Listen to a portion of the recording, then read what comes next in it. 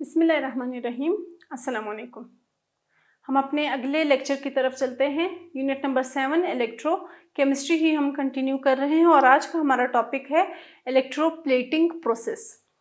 ठीक है? इससे पहले हम कोरोजन पढ़ चुके थे और कोरोजन में हमने इलेक्ट्रोप्लेटिंग को एज अ मेजर लिया था एज अ प्रिवेंटिंग मेजर लिया था कि वो कोरोजन को कैसे रोकने से रोकने में मदद देती है, ठीक है? तो देख लेते हैं कि इलेक्ट्रोप्लेटिंग का प्रोसेस होता क्या है?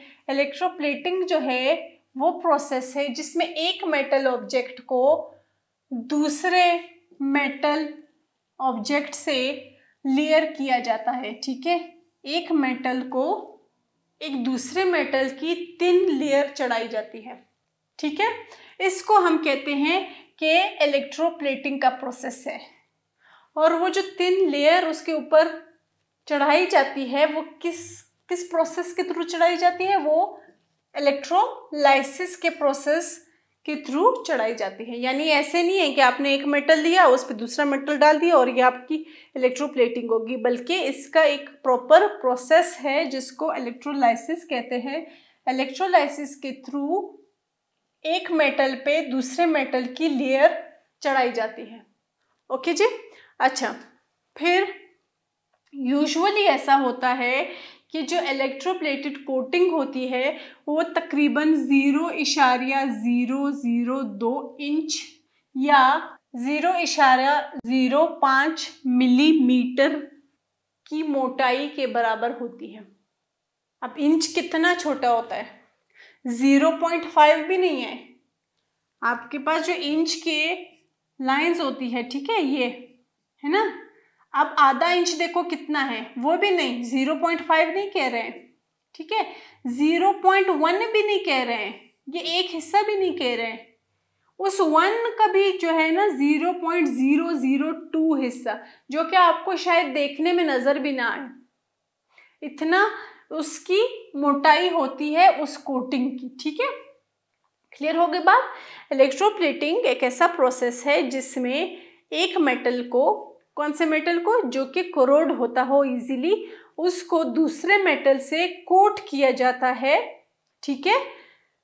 किस प्रोसेस के थ्रू इलेक्ट्रोलिसिस के थ्रू क्यों कोट किया जाता है? क्योंकि वो जो दूसरा मेटल होता है, वो रेजिस्टेंट होता है कोरोजन के। यानी उसमें कोरोजन नहीं होती, आसानी से या फिर होती ही नहीं है। इसलिए उसको हम कोट कर देते हैं पहले वाले मेटल पे।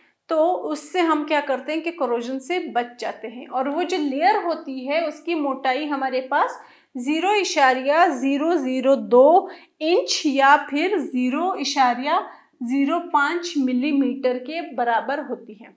इलेक्ट्रोप्लेटिंग जो होती है, वो इलेक्ट्रोप्लेटिंग सेल के थ्रू होती है। एक सेल कंस्ट्रक्ट किया जाता है। उस सेल में एक मेटल जो कि हमने प्लेट करना है वो एज अ कैथोड रिएक्ट करेगा। और एक मेटल जिसको हमने डिपॉजिट करना है, वो एज एन एनोड रिएक्ट करेगा। ठीक है? और ये जो कैथोड और एनोड रिएक्ट करेंगे, ये कब रिएक्ट करेंगे? हम बात कर रहे हैं इलेक्ट्रोलाइसिस की। इलेक्ट्रोलाइसिस मतलब पैसेज ऑफ़ इलेक्ट्रिसिटी इलेक्ट्रिसिटी कब पास होती है?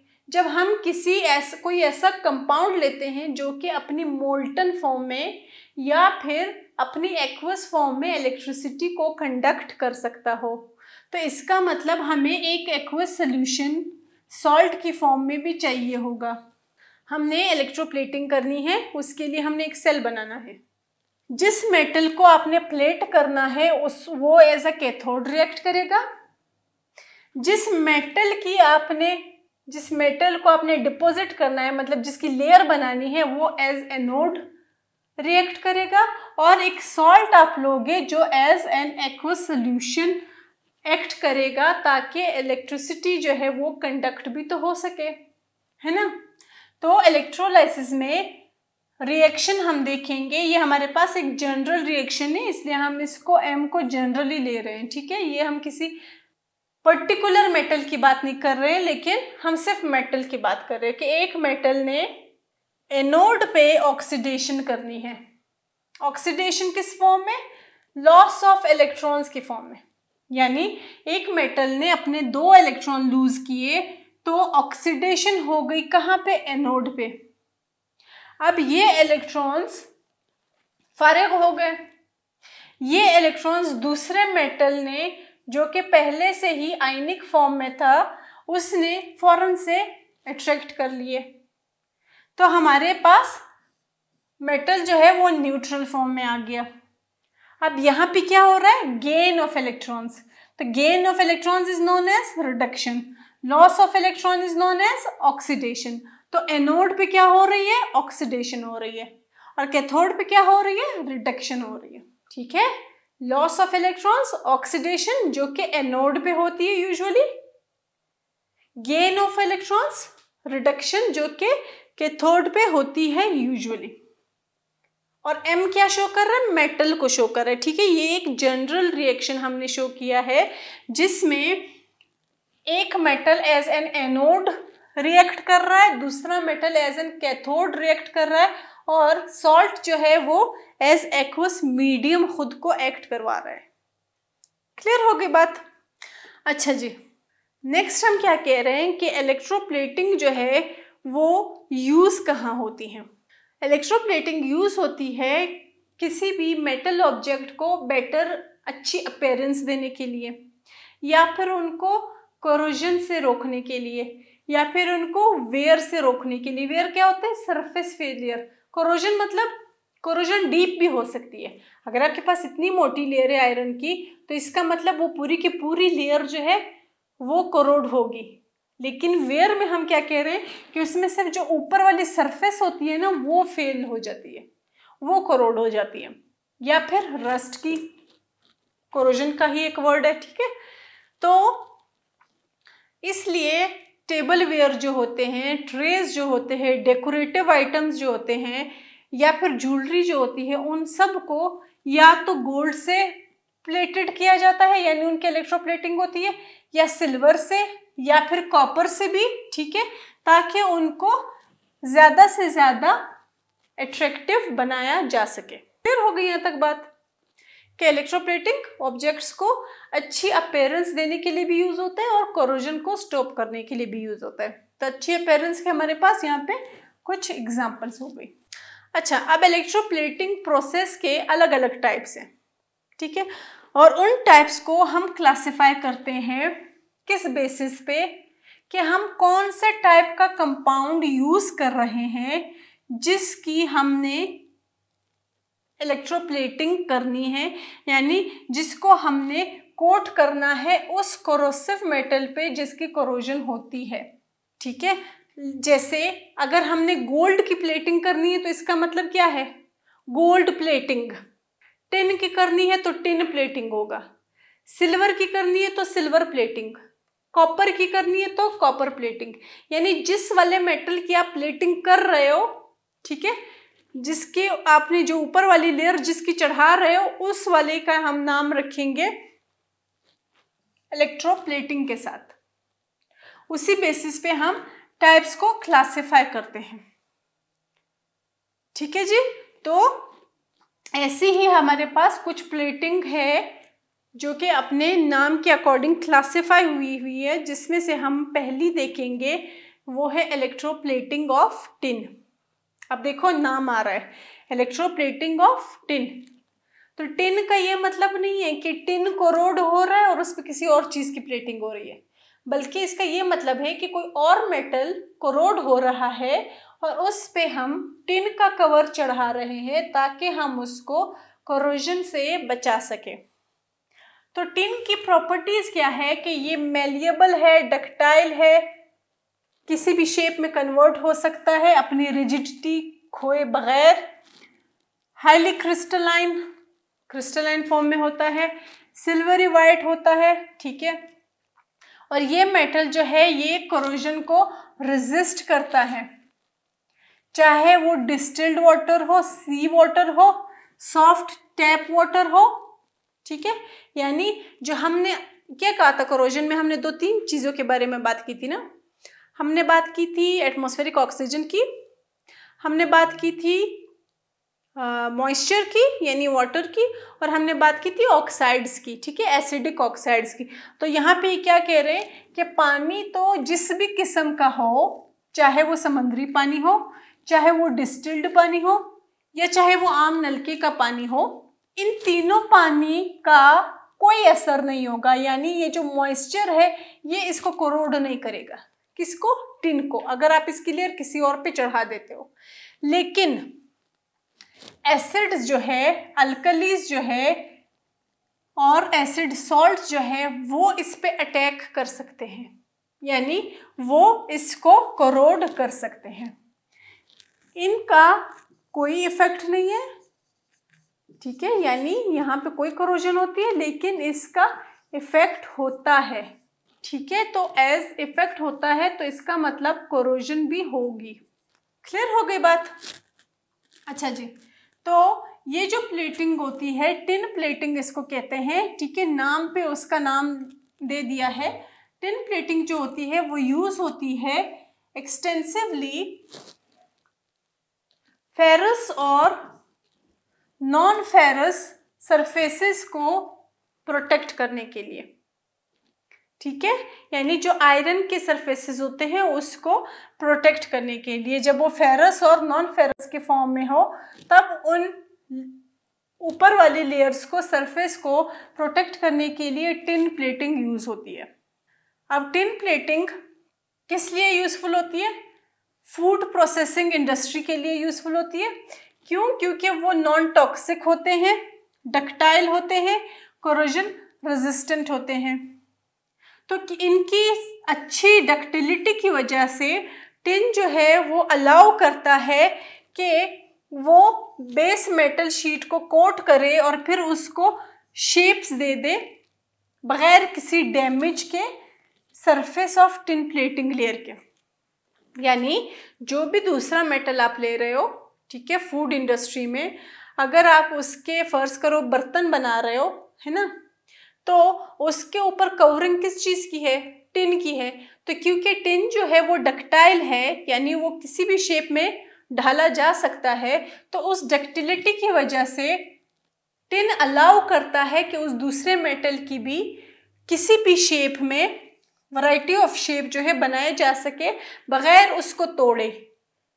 क्यों बगैर उसको तोड़े? क्योंकि भाई हमने उस पर टिन की इलेक्ट्रोप्लेटिंग की है और टिन की ये क्वालिटी है, ये प्रॉपर्टी है, हमने यहाँ पे ही बोल दिया था कि वो डक्टाइल है। डक्टाइल मतलब उसको तोड़े बगैर आप किसी भी शेप में डाल सकते हो। तो यहाँ पे भी हम किसी भी शेप में डाल सकते हैं जो प्लेटिंग वाली लेयर है। ठीक है? अच्छा तो इसकी वजह से टिन जो है वो प्रोवाइड करता है कॉपर के लिए भी प्रोटेक्शन निकल के लिए भी और दूसरे नॉन फेरस मेटल्स के लिए भी प्रोटेक्शन प्रोवाइड करता है। लेकिन स्टील के लिए टेन प्रोटेक्शन प्रोवाइड नहीं करता। अब स्टील स्टील के बारे में हम पिछले ही लेक्चर में देख चुके हैं कि स्टील प्योर मेटल नहीं है। स्टील जो है वो एक एलॉय है और वो एलॉय बना है आयरन क्रोमियम और कॉपर से। तो इसमें तो ऑलरेडी रस्टिंग होती ही नहीं है तो इसलिए इसको स्टील के लिए टिन को नहीं यूज़ किया जाता, बल्कि नॉन फेरस और फेरस मेटल्स के लिए यूज़ किया जाता है। ठीक है जी? अच्छा अब इलेक्ट्रोप्लेटिंग के दौरान जो टिन का मिक्सचर यूज़ होता है टिन सॉल्ट्स का मिक्सचर जो यूज़ होता है उसको पानी में डिज़ोल्व करते हैं, यानी ये आप किसकी बात करें सेल की बात करें मैंने आपको बताया था कि इलेक्ट्रोप्लेटिंग जब होती है तो उसके लिए एक सेल फॉर्म होता है, ठीक है? एक सेल के थ्रू ही ये सारा प्रोसेस होता है। तो उसमें एक जो है, वो एज अ कैथोड रिएक्ट करता है और दूसरा एज एन एनोड रिएक्ट करता है। तो यहाँ पे हम क्या कर रहे हैं कि इलेक्ट्रोप्लेटिंग का हमने प्रोसेस करना है। उसके लिए हमने एक मिक्सचर लिया टिन सॉल्ट का। और उसको हमने डिजोल्व कर दिया पानी में। जब इलेक्ट्रिक करंट पास हुई इलेक्ट्रिक करंट कौन से प्रोसेस में पास हो रही है? इलेक्ट्रोलाइसिस में। यानी हमारे पास प्रोसेस कौन सा चल रहा है? इलेक्ट्रोलाइसिस का प्रोसेस इलेक्ट्रोलाइसिस के थ्रू करंट पास हो रही है पानी से तो टिन जो है वो आइंस में कन्वर्ट हो रहा है। और वो आइंस जो है वो दूसरा मेटल जिस भी मेटल की हमने कोटिंग करनी है उस मेटल की तरफ़ अट्रैक्ट हो रहे हैं। ठीक है? तो जब उस मेटल की तरफ़ अट्रैक्ट होंगे तो वो क्रिएट करेगी एक परमानेंट कोटिंग ऑफ़ टिन बात क्लियर हो गई? हम इलेक्ट्रोप्लेटिंग कर रहे हैं। उसमें हमारे पास टिन सॉल्ट का सॉल्यूशन है। ठीक है? ये हमारे पास इलेक्ट्रोड्स हैं। सही? अब जब पानी के अंदर, यहाँ पे पानी भी है, जब इलेक्ट्रिसिटी पास होती है तो तब क्या होती है कि टिन जो है वो आइंस में कन्वर्ट हो जाते हैं और ये आइंस जो है ये जाके दूसरे मेटल पे चिपक जाते हैं। और इस चिपकने की वजह से एक परमानेंट कोटिंग हो जाती है उस मेटल पे टिन की, जिसकी वजह से हम ये कह देते हैं कि भाई वो मेटल टिन प्लेटेड हो गया है। ठीक है जी? अच्छा अब ये प्लेटिंग जो है, ये एक इफ़ेक्टिव मेथड है बेस मेटल्स जैसे आयरन को कोरोजन से बचाने के लिए। यहाँ पे स्टील भी मेंशन है स्टील को नहीं कोरोजन से बचाया जाता, क्योंकि स्टील जो है वो हमारे पास प्योर मेटल नहीं है, बल्कि एलॉय है, ठीक है? तो एलॉयज जो है वो तो ऑलरेडी खुद उनमें ये प्रॉपर्टी होते हैं कि वो बहुत ज़्यादा रेजिस्टेंट होते हैं कोरोजन की तरफ़, ठीक है? अच्छा जिंक प्लेटिंग जो है वो भी यूज़ हो सकती है कोरोजन की रेजिस्टेंस को इम्प्रूव करने के लिए। जिंक जो है वो, अब हमने क्या कहा पिछली स्लाइड में कि हम टिन यूज़ करते हैं फ़ूड इंडस्ट्री में। तो अब यहाँ पे हम ये भी कह रहे हैं कि भाई जिंक प्लेटिंग जो है वो भी यूज़ हो सकती है कोरोजन को कोरोजन रेजिस्टेंस को इम्प्रूव करने के लिए। तो हम इसको क्यों नहीं यूज़ कर लेते फ़ूड इंडस्ट्री में? तो इसका जवाब आगे ही फ़ौरन से मिल गया है हमें कि जिंक जो है वो टॉक्सिक है फ़ूड या मेडिकल एप्लीकेशंस के लिए। तो इसलिए इन दोनों टाइप्स के लिए हम जिंक की प्लेटिंग कभी भी नहीं यूज़ करेंगे, बल्कि टिन की प्लेटिंग जो है वो यूज़ होती है फ़ूड इंडस्ट्री के लिए भी और मेडिकल एप्लीकेशन के लिए। क्यों जिंक नहीं यूज़ होता? क्योंकि वो टॉक्सिक है। ठीक है जी? और दूसरी वजह यह है कि जो टिन प्लेटिंग होती है, क्योंकि मेडिकल एप्लीकेशन में भी आपके पास जो टूल्स होते हैं ठीक है, या फिर फ़ूड इंडस्ट्री में भी जो आपके पास मटेरियल होता है, उसके लिए अलग अलग शेप में ढलना ज़रूरी है। तो टिन हमने पहले ही कह दिया था कि भाई टिन जो है, वो डक्टिलिटी किसी मेटल की इम्प्रूव करता है, ज़्यादा करता है। तो इस वजह से उसको किसी भी सरफेस में, उसको किसी भी सरफेस में ढालना, किसी भी दूसरी शेप में ढालना बहुत ज़्यादा ईजी हो जाता है। क्लियर हो गई यहाँ तक बात? अच्छा जी। फिर हम क्या कहते हैं? एक ड्रॉबैक है। ये तो हमने अब तक क्या देख लिया हमने इसकी प्रॉपर्टीज़ देख ली कि भाई इसके ये ये फ़ायदे हैं, इसलिए ये फ़ूड इंडस्ट्री में भी यूज़ हो सकता है और ये जो है मेडिकल एप्लीकेशंस में भी यूज़ हो सकता है।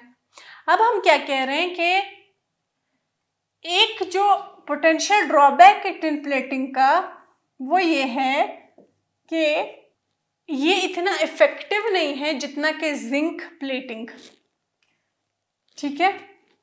अब हमने सारी प्रॉपर्टीज़ तो देख ली। वो सब कुछ ठीक है कि ये रेजिस्टेंट भी है, ये डक्टाइल भी है, ठीक है? और ये फ़ूड और मेडिकल एप्लीकेशन के लिए नॉन टॉक्सिक भी नहीं है। लेकिन अगर हम कोरोजन के रेजिस्टेंट रेजिस्टेंस पे आ जाए तो जिंक प्लेटिंग के मुकाबले में टिन प्लेटिंग जो है वो इतना इफ़ेक्टिव नहीं है। यानी कम रेजिस्टेंस प्रोवाइड करेगा क्रोजन के आगे। ठीक है जी? तो अगर मटेरियल्स को प्रोटेक्ट करने की ही बात है तो इसका मतलब ये कम काम कर सकता है। यानी ये इतना इफ़ेक्टिव नहीं है। ये हम कर तो देंगे ठीक है, आपको पता है कि इलेक्ट्रोप्लेटिंग भी सिंपली नहीं होती, आपने कोई ऐसे कोट नहीं करना। आपने इलेक्ट्रोलाइसिस के थ्रू करना है प्रॉपर आपको इलेक्ट्रिसिटी चाहिए होगी, ठीक है? तब जाके ये प्रोसेस होगा। तो अगर इतना सारा खर्चा करने के बाद भी उसका रिज़ल्ट वो नहीं मिल रहा तो फिर क्या फ़ायदा कि हम टिन की प्लेटिंग यूज़ करें?